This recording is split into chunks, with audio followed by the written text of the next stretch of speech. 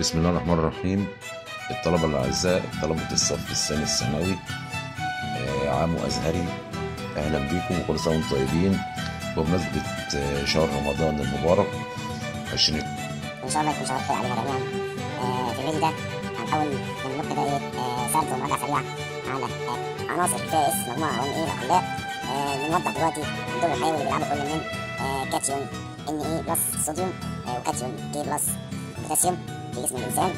طبعا أنتوا عارفين ان هم إيه كعنصرين في المجموعة الأولى بيحتلوا الترتيب السادس والسابع بالنسبة لل- للصوديوم آه، الصوديوم طبعا بيضرب في بلازما الدم والسوائل والمحيط اغشيه أعضاء الجسم الداخلية. آه، وطبعا كل وظيفته إن هو إيه؟ بيعمل على نقل المواد الغذائية اللي مع الجسم عبر الدم. أما بالنسبة آه للبوتاسيوم آه يوجد داخل الخلية الحية السيتوبلازم آه بيساعد في تخليق البروتين. ثم تعلمناه اليوم فيما يلي تتضمن عناصر المجموعة الواحد من الجدول الدوري الفلزات القلوية وهي تقع يسار أقصى الجدول الدوري. سميت بهذا الاسم لكونها سريعة التفاعل مع الماء مكونة محاليل قلوية. أما المجموعة اثنين من الجدول الدوري فهي تتضمن عناصر الفلزات القلوية الأرضية وهي تقع أيضا يسار الجدول الدوري. سميت بهذا الاسم لكونها تدخل في تركيب القشرة الأرضية.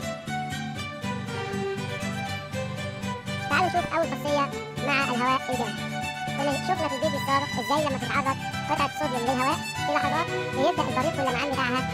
يختفي دليل على إنها عناصر شديدة النشاط فمع الهواء الجوي بتفقد هذه العناصر بريقها واللمعان بتاعها نتيجة لتكون مجموعة من المركبات آه، عند تعرضها للهواء بتبدأ بالأكاسيد ثم تحدث مجموعة من التفاعلات تؤدي إلى تحولها إلى مركبات أخرى ده بالنسبة لتفاعلها مع الهواء الجوي.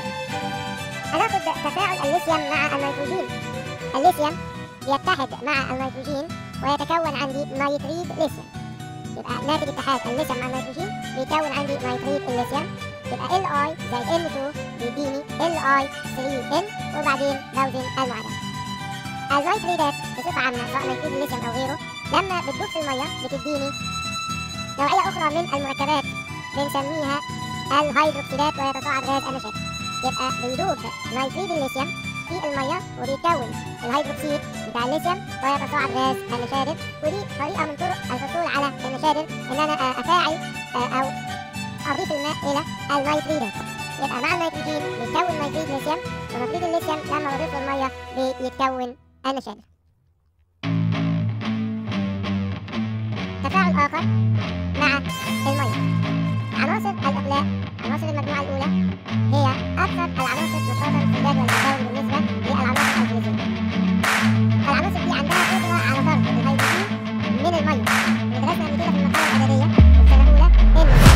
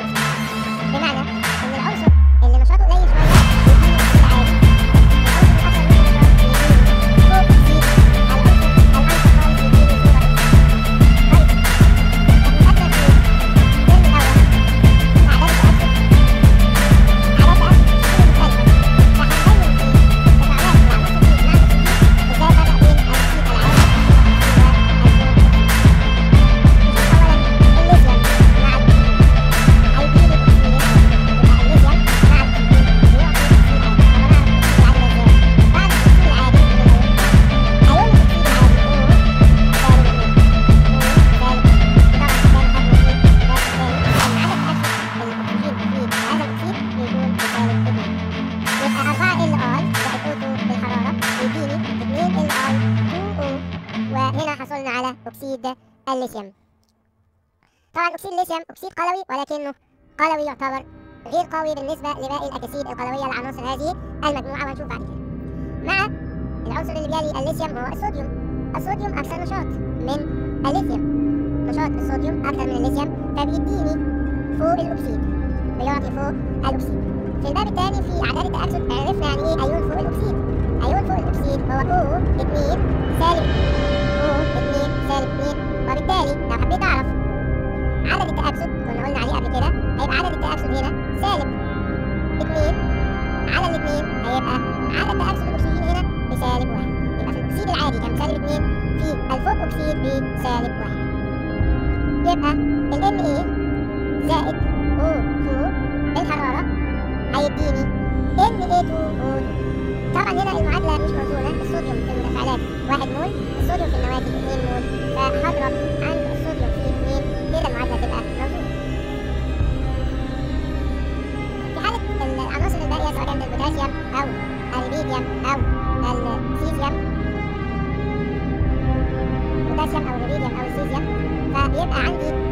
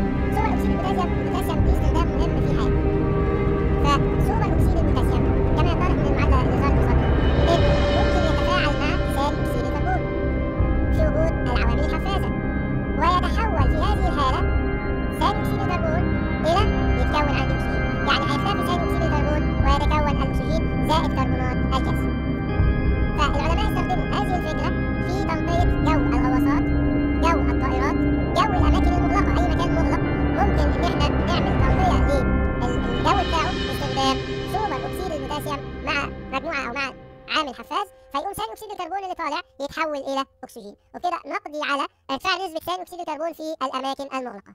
ده بالنسبة لسوبر أكسيد البوتاسيوم واستخدامه في عمليات التنقية للهواء في الأماكن المغلقة. لكن آه، مركبات الفوق أكسيد والسوبر أكسيد لها استخدامات أخرى. فمركب فوق الأكسيد عندما يتفاعل مع الماء أو يتفاعل مع الحمض بيعطي فوق أكسيد الهيدروجين. اللي إحنا بنسميه مية الأكسجين. فوق اكسيد الهيدروجين ده بنسميه ماء الأكسجين. اللي هو تركيبه الكيميائي H2O2 طيب فوق اكسيد الهيدروجين أصلا ماده مؤكسده يبقى يمكن استخدام فوق الاكسيد كعوامل مؤكسده قوية لأنها تتفاعل مع الماء والأحماض وتعطي فوق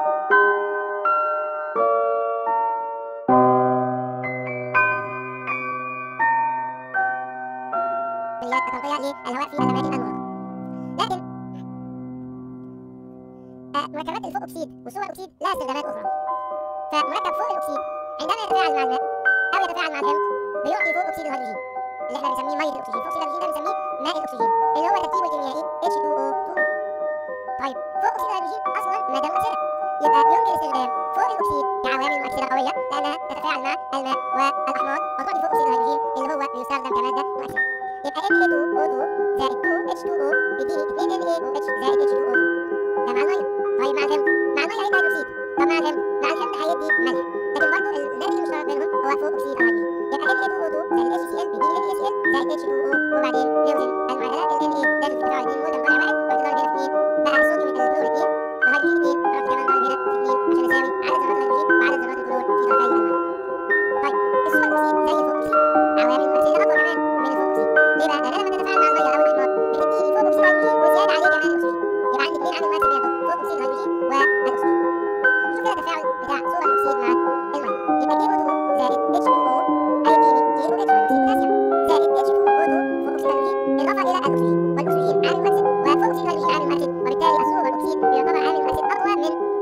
عندي هنا ال H واحد وهنا اثنين وثلاثة أحاول أخلي ال H ده اثنين عشان يبقى اثنين واثنين وأربعة أقدر أتصرف فرحت ضارب في اثنين أما ضربت في اثنين ال H بقوا اثنين واثنين أربعة وال K بقوا اثنين رحت ضارب هنا في اثنين ضارب في المية المية في اثنين عشان يبقى الهيدروجين أربعة وكمان هضرب عند KO 2 في اثنين عشان يبقى البوتاسيوم اثنين طيب نشوف حل الأكسجين بقى هنا الأكسجين اثنين في اثنين بأربعة أربعة واثنين ستة طب هنا أدي اثنين اثنين ادي أربعة ادي ستة يبقى كده المعادلة اتوازنت ده كان مع المية طب مع الحمض KO2 زائد حمض وليكن حمض HCl مخفف المرة دي هيديني ملح KCl لكن برضه الناتج المشترك H2O2 و O2 وبرضه نشوف المعادلة بتاعتنا موزونة ولا مش موزونة. فلقيت الهيدروجين طالع 2 مول بينما داخل في التفاعل مول واحد فأقوم ضارب قصاد ال HCl الاثنين لما ضرب قصاد ال HCl الاثنين الاثنين مجموع H وكمان مجموع HCl يبقى CL بقى الاثنين يبقى عندي مشكلة K واحد وهنا عندي K واحد. فأقرب خمسة هنا اثنين في اثنين أربعة واثنين اثنين أربعة بقت المعادلة ده بالنسبة لمركبات الفوق في وصول بالنسبة لعوامل الأسئلة أول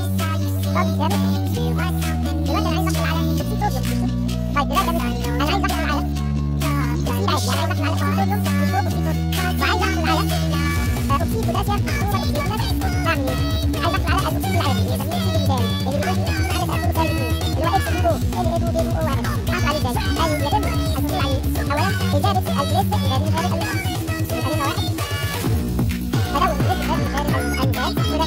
طب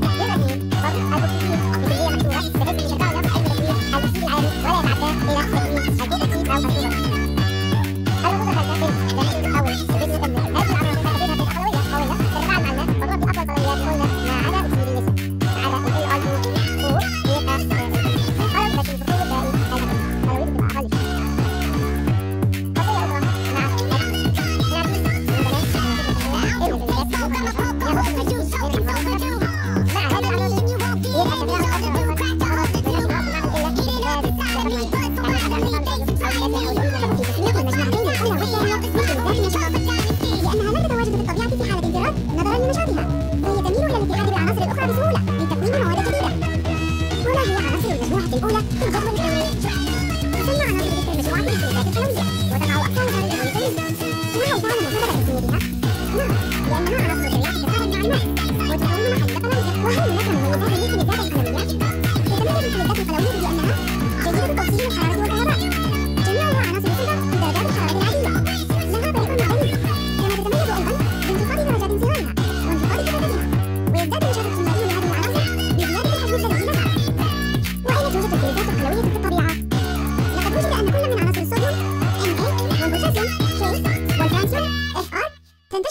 الأرضية بكثرة.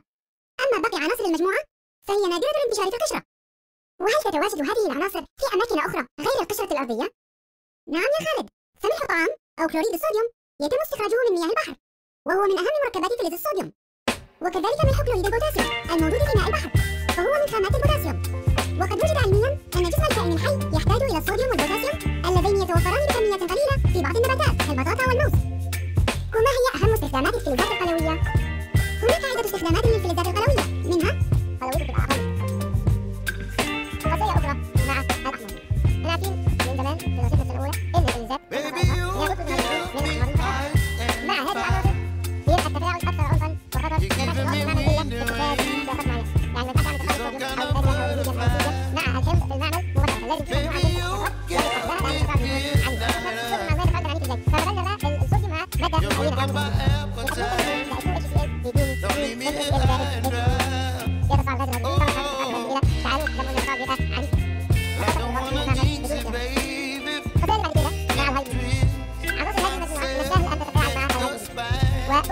من المركبات بنسميها هايبريد الجنس هايبريد الجنس يمكن إحنا عندنا معلومة عن الهيدروجين كنا بنقول الهيدروجين بيبقى عدد تأكد الهيدروجين بزيادة على عكس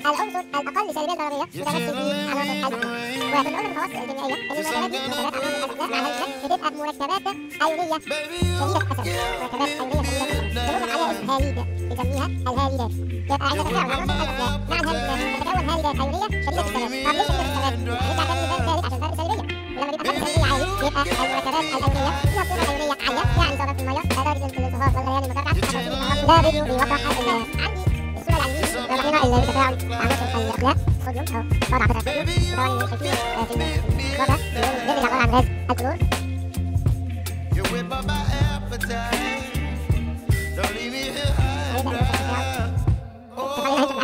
هو هيجيب خطوات لا إلى الصوت هو هيكمل الفيلم عن عملية وهتنتج طاقة حرارية وهيكون غير روتين ويؤدي ذلك إلى فرق أو فرق صوت مفاعل نعم صوت مفاعل رأس إلى ضوء عرضي لهذا الشكل وده الفيديو عبارة عن مخاط هذا تعرف الصوت هنشوف لما يتكثف autor de casi drama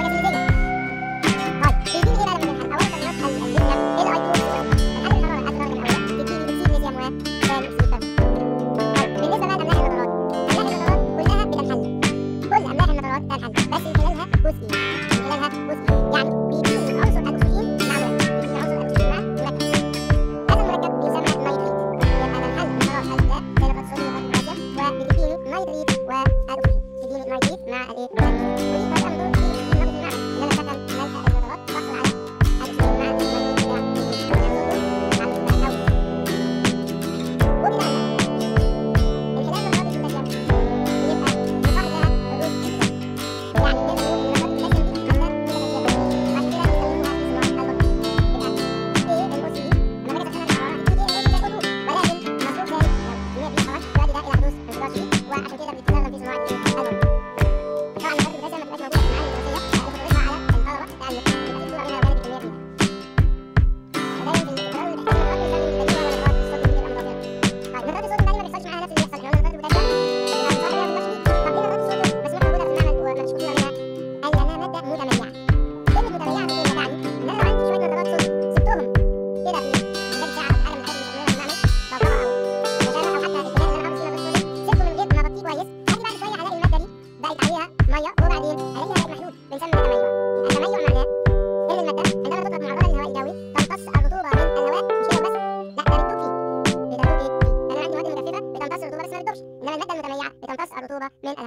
وتذوب في المادة اللي بتدوب فيه فكده بنقول نترات البوتاسيوم لا تدخل في صناعة البارود مسموح بتواجدها في المعامل المدرسية لأنها مادة متميعة تمتص رطوبة من الهواء الجوي وبالتالي عند استخدامها لا يحدث هذا الانفجار الذي يحدث عند انحلال نترات البوتاسيوم. الجزء عندنا إزاي نحصل على الفلزات الأقلاء من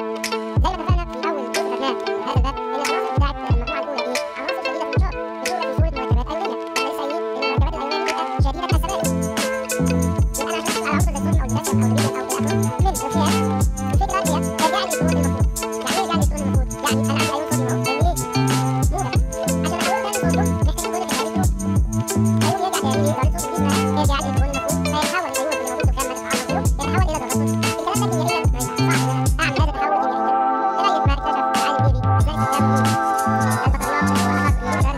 you.